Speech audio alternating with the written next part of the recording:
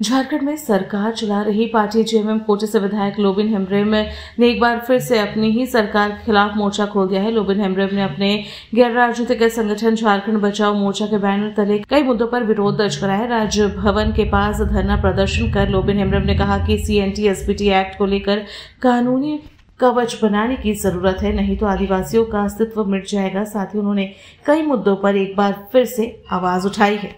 झारखंड जल रहा है। झारखंड लुटा रहा है।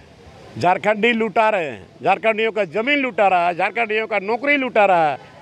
आज इसीलिए आज हमने ये गैर राजनीतिक संगठन बनाया है, जो झारखंड बचाव मोर्चा है। और उसी के बैनर तले आज हम लोगों ने आज का दिन मुकर किया था। लेकिन बारिश बारिश में भी अच्छे लोग जमा हुए। और ये एक तरफ़ से सरकार पर दबाव हम लोग डाल रहे हैं कि आपने जो कहा था और यहाँ पर जो है C N T act S B T act जो यहाँ का आदिवासी मूलवासियों का जो बचाव कवच है, इसको आप मैंने सख्ती से लागू करिए ताकि यहाँ के आदिवासी बच सके, यहाँ के आदिवासियों का ज़मीन बच सके। आदिवासी का ज़मीन नहीं बचेगा तो आदिवासी नहीं बचेगा। इस ब्यूरो रिपोर्ट, सबरंग समाचार।